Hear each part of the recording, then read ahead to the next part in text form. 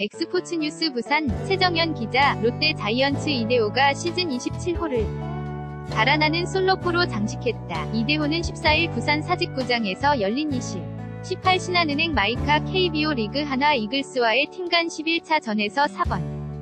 지명타자로 선발 출전했다 회 1사주자 없는 상황에서 이대호는 윤규진 위 3구를 때려 좌측 담장을 넘겼다. 비거리는 110m에서 5까지 추격을 허용했던 롯데는 5회 이대호의 홈런으로 6에서 3 다시 한 점을 달아났다. LOBELIAE 골뱅이 XPORTSNEWS.com 사진 는 엑스포츠 뉴스 DB 모바일 안경 구독하기 한경 라이브 뉴스레빗 연예 글감. 한경닷컴 무단전제 및 재배포 금지